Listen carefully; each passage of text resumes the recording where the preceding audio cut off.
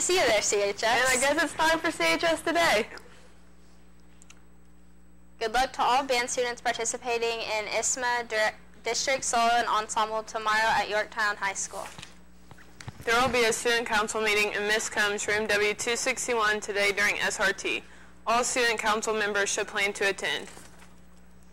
There is a Spanish club meeting in Senorita Brown's room tomorrow during SRT. Fringe Club breakfast is scheduled for Monday, same time and location. Fringe Club member check Google Classroom and sign up by the end of today. This is the final reminder. If you drive to school, you must have a parking sticker for this school year. You can get one at the bookstore. All academic team members are reminded that the next meet is Wednesday at Lincoln. Be ready to board the bus after the teachers PLC meeting at 3:40. Also, if you have ordered and paid for a new t-shirt, come see Miss Davis to pick it up. Fine Arts academic team members are reminded that they have practice questions in classroom. Make sure to check them before you, your next meet. The National Honor Society Senior Scholarship application is due next Tuesday. See the NHS Google Classroom page for instructions. Mr. Dirk's fourth period class will be eating first lunch again today. Today's lunch is boneless chicken wings, whole grain dinner roll, and Boston baked beans.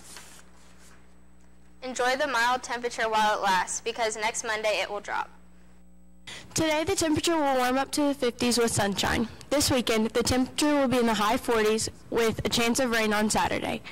Next week, the temperature will drop back down to the 30s. That's all for the weather. Now back to the desk. no, literally. Huh? Now we're on the page. With the sports. Thanks, guys. The regular season came to an end for the girls' basketball team last night as they fell to East Central. Scoring for the Spartans were Jessica Beckman with 10 points, Tori Bostic with 5, Marley Smith with 4, and Giona Struing with 3. It will begin sectional play Tuesday at the Bowl versus New Palestine. All session passes for the girls basketball sectional are on sale in the new athletic office in the main building at CHS. The price for the all session pass is $10. The cost of a single session is $6. You can purchase tickets from 8 to 4 until the sectional.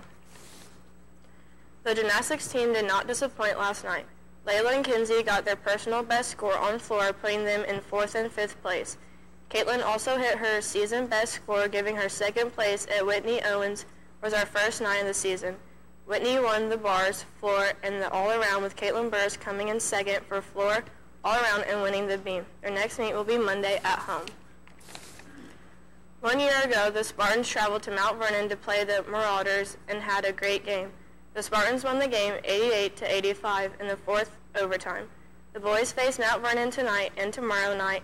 The Spartans will host the Indianapolis Manual. Both JV games start at 6.30 with varsity to follow. Come out and support the Spartans for a great weekend of basketball. That's all for sports. Now back to the desk with birthdays and activities. The only birthday for today is Hannah Kaplinger. The birthday for Saturday is Faith Spivey. Birthdays for Sunday are Allie Asher, Cody Toller, and Michael Hudson. Happy birthday. Activities for today are boys freshman basketball at home at 6, boys JV and varsity basketball at home at 6.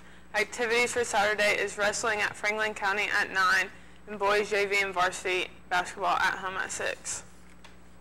All the day is change your thoughts and you change the world. It's Flannel Friday. We didn't plan it. And that's all for CHS today.